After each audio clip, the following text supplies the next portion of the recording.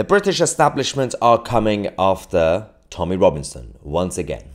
Now, they've been very proactive from the legal system to the policing.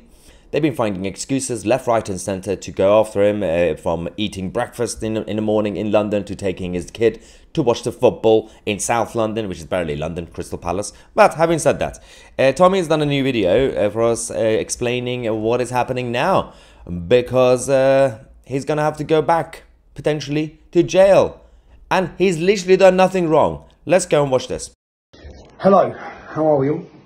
Uh, quick update from me. I'm in a hotel, story of my life. I'm with my son, which is good. And a uh, quick one for me. I have to hand myself in on the 19th of this month. Insanity. Okay, so I know I've been poking the bear with the Metropolitan Police Force. They're humiliated, they're embarrassed because their shit's about to hit the fan for them, I think, yeah? With your help, okay? So but they've dragged back through, and I am going, and I have to hand myself in for an offence, an alleged offence of breaching an order to do with a journalist that I'm not allowed to name. That breach is a year ago or something. It's like, what, and you're talking to me now? What, what's that? They have gone and found something that they can get me in the police station for. So I have to go with my lawyers on the 19th over this offence. The crazy thing is, breaching out orders five years. So they get these shitty orders through a judge, no jury, okay, and then they get you on a breach if they can, and they want to lock you up. That's one thing, okay. I'm going to fight that as best I can. The other thing, I'm on trial 22nd and 23rd of April. Why is this important? Why is it important that I have a King's Counsel? I'll tell you why it's important I have a King's Counsel. I was in jail recently. I was, I was held for two days and I went to court and the judge actually said I wasn't going to be letting you out today. Know why I let you out? Because you got me a King's Counsel, the best King's Counsel, who got me released. I've already had a success with him. Now I'm going into a gunfight against the entire might of the British establishment. I can't go in there with a knife. Yeah? I need to go into a gunfight with a gun. And I'm, I'm sorry to keep doing this, but that cost is astronomical. Okay, I think the first day is 10,000 plus VAT. Second day is 5,000 plus VAT, something like that, without the solicitor's fees. But I'm just filling you in, yeah?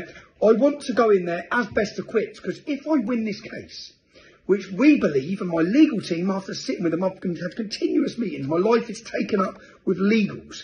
But I've had continuous meetings, and they believe that we have strong grounds on multiple different angles of fighting this. Yeah?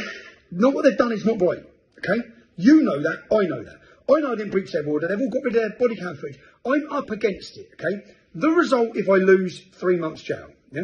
That's the result if I lose. I don't want to go to jail, if I'm honest, yeah? I think for our cause it may benefit. I'm not in the position to want to do that. Not with my kit, not where I'm at. So, unfortunately, I'm asking for your help, yeah?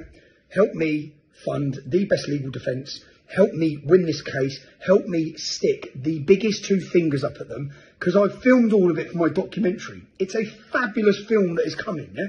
A fabulous work. I, I believe all of our work's important. I now have the best editor, okay? My be- my cameraman, eh, stroke editor, is the best I've ever had, yeah? He's professional. We are working. We, we interviewed Andy Bridgen yesterday. We've got some great characters and commentators telling the story of Britain, the totalitarian state this was, oh, I'm going off on one, I can go off, off on one for hours, but this was literally an appeal from me to you. Please, can you help me fund this defence team? The thing is, they need paying before because we're continually meeting with them. The work goes in before. Even if this gets kicked out, the work's been done. Yeah, they're working to look at the legal discussion, legal arguments on five different fronts of fighting this this bullshit order. Yeah, and saying that I breached it when I didn't. Okay, and, and it was unlawful for me even to give me it. But thank you in advance. I'm sorry to continue asking for your support. I wouldn't even be. Do you know what? I, I confidently fight, and I enjoy fighting, right?